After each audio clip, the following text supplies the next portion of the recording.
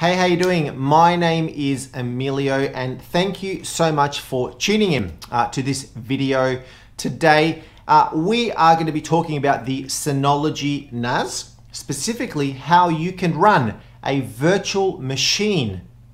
That's right, you heard it correct. A virtual machine or a virtual server or even a desktop version uh, directly on your Synology NAS, right? Yes, you can actually use your Synology NAS to run a Windows or some other sort of operating system directly on it. It is absolutely brilliant. We're going to be talking about that today. Please subscribe, clicking on that subscription button and the bell so that you don't miss out on anything. So let's get onto that video right now.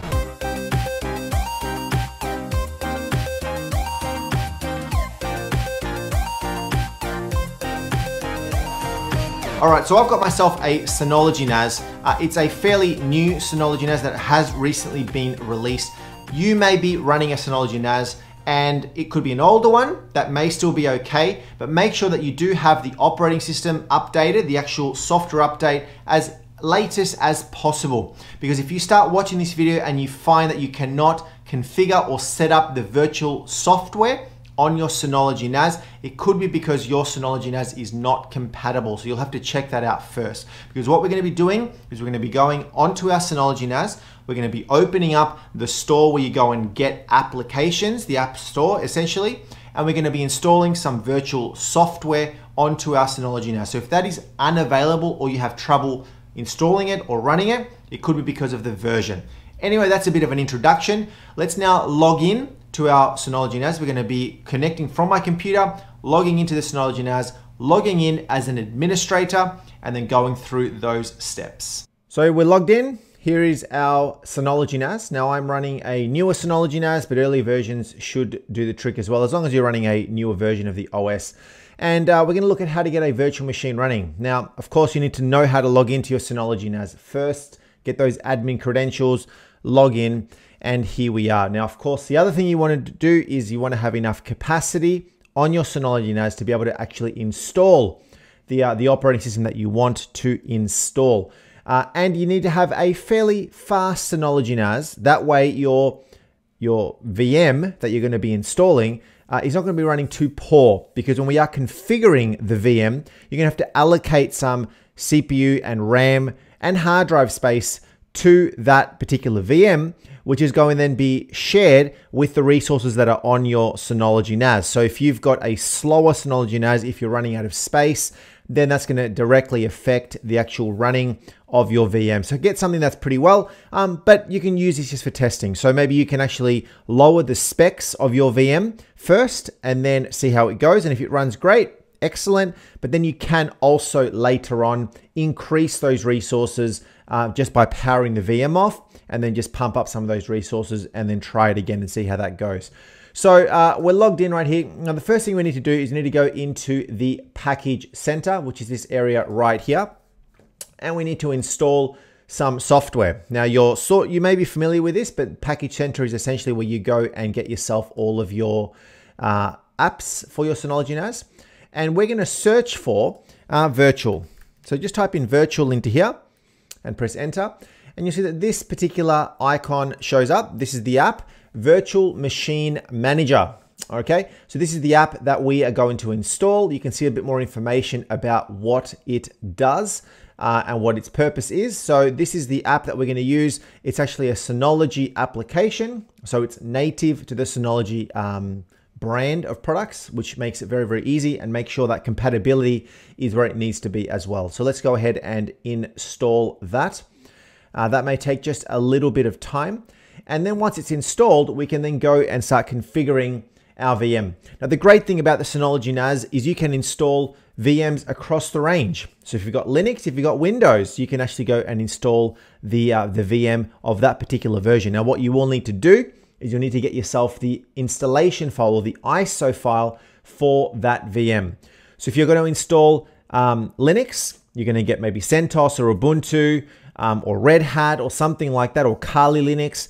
Um, if you're on Windows, you want to install Windows 10 or one of the server editions, you're going to need to get the ISO file for those files first. So you need to go and download those off the internet. Um, the Linux side is generally going to be for free, except for certain versions.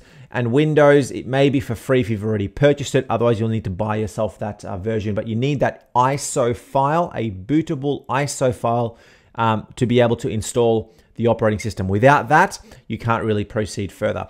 So that has uh, now installed. Okay, so you'll see that um, under my um, main menu, it's actually listed now in here, Virtual Machine Manager. So we can go and open that up. And here we are presented with just our wizard. Okay, so the first thing we're gonna do is we are gonna select next.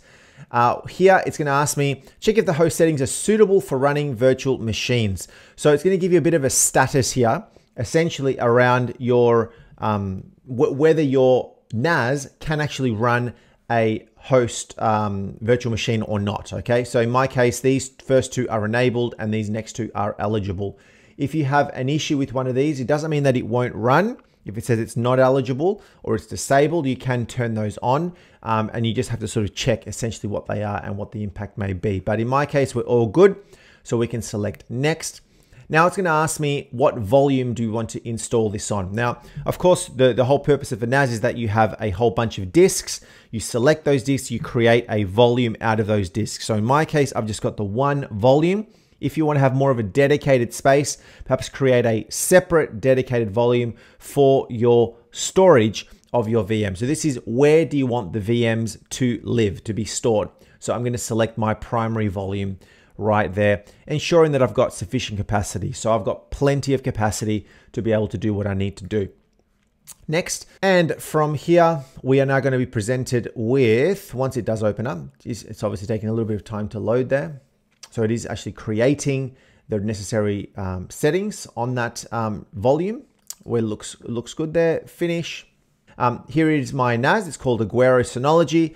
My CPU percentage right now, so how much is currently being used how much RAM I've got um, available and used, and how is my LAN performing. So my up, upload and my download speeds on my uh, network, okay? Uh, virtual machines, currently I don't have any. And of course, storage, we've just got the one volume that we just allocated previously, okay? Now, of course, we need to go and create a virtual machine now, but just be a little bit aware around some of the areas here on the left. Let's just grab this and drag it down so you can see a little bit better. So on the left side, you've got an overview, you've got virtual machines, you've got your clusters, you've got storage, you've got network, uh, and you can go and configure a whole bunch of stuff in here. Network, um, if you've got multiple ports on your Synology NAS, that is great. And I would actually go and enable those network points and run cables into your Synology NAS, have them all active because the more ports you've got, the better load balancing you've got of your VMs. If you've got multiple VMs, they're not all using the network traffic of one network point. They can be shared across the other ones. The other good thing is things such as failover and redundancy. So if one network point fails, your VM doesn't fail, it can just sort of bump over and start using another network point, another network connection.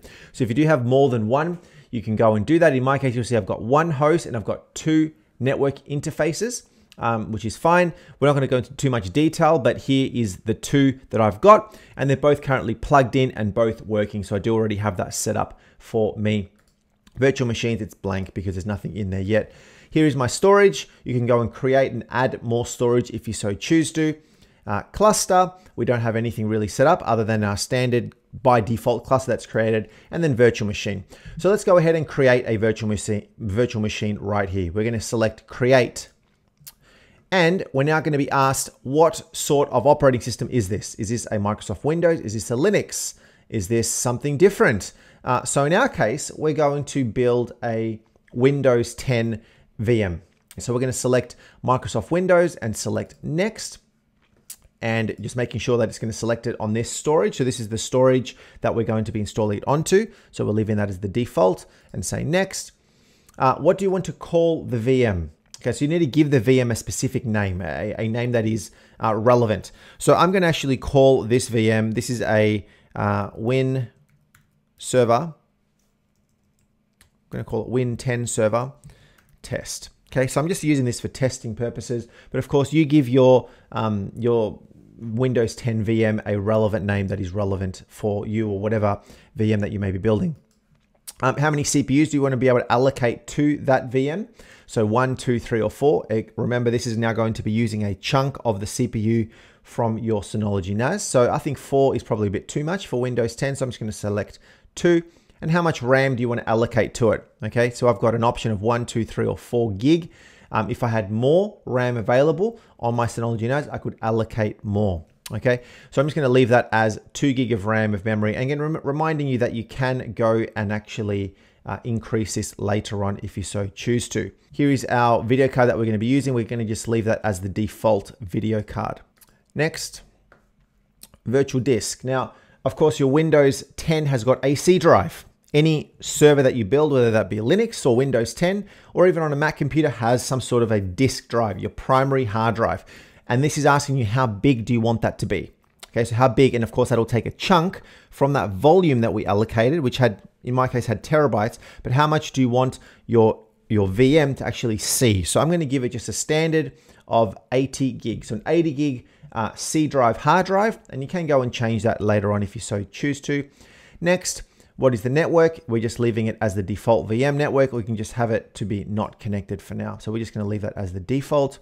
And next, Okay, now this is the guest agent. Okay, so this is uh, for drivers of Windows virtual machines. So by default, of course, the Synology doesn't understand the Microsoft, the Windows operating system. So it's asking you to go and download this particular piece of software to actually ensure that there's proper compatibility um, between those two environments um, when you're taking snapshots of running virtual machines and other things like that as well. So we're going to select download. It's going to go out to the internet and download that particular guest tool software for my Windows virtual machine. It's done. And then you'll see it's actually listed it right here, additional ISO file. This is the file that was just downloaded. Now here, the very first step is the ISO file for boot up. So now this is where you point this particular um, instance that we're creating to the ISO that you have downloaded. So you have to go and find that ISO. Now, what I'd recommend, of course, if you've downloaded this onto your PC, onto your Mac, whatever computer that you're using to connect to your Synology, uh, you need to upload that onto the Synology, preferably. Go and so, so go and upload it. Um, use the file station, which is right up here. Okay, you can open up your file station and actually upload the file. So go and upload the file to your Synology NAS to a location that is relevant for you, and then you go and navigate to it, okay? So I'm gonna go and select Browse, I've got all of my stuff under data applications. And then I've got a folder called Microsoft and I've got Windows 10 right there. And the particular version that I'm going to be using is this one right here. And I'm going to select that. So now I've got my Windows 10 ISO selected. Auto start, I'm going to say to yes, because I do want it to start automatically. Um, you can set it to no, but I like as soon as I boot up, let's make it start automatically. Uh, the BIOS, do you want a legacy or UEFI? So this is really depending on the operating system that you're going to be installing, the ISO itself. So we're going to leave that as the BIOS because BIOS is what's generally used with uh, Microsoft. Um, and the, the rest we'll just leave as the defaults, okay? We're not going to change anything there. So let's select next. Now, assigning permissions. So who do you want to um, have permissions to be able to on and off? We're going to say admin and apply. So in my case, I had it left as powered off. So now it's ready to go. Um, you'll see there's a few, you know, it's highlighted, it says powered off, and there's a few, you know, bit of information on the bottom showing me what this is doing, the virtual disk, the network that it's going to be using. So now we're going to go and select power on. Now in the drop down option, of course, you've got a few different options. You've got power on, you've got shutdown, you've got force shutdown, you've got restart, suspend, resume. Now that is now preparing, okay? And you'll see that things now start to spin up. Now, this area right here is to actually connect and bring up a window where you can see what's going on. So we're going to select connect. You'll see it's opened up a separate tab.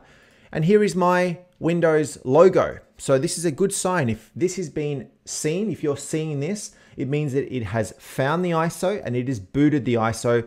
And now Windows 10, the actual installation or the actual setup is actually now beginning. Now, if this didn't work for you, perhaps it's saying that the disk is not found or please insert or the ISO is corrupted, it's because perhaps the ISO that you have got is not valid. Uh, it's corrupted or perhaps it's not a bootable ISO. So your ISO has to be bootable.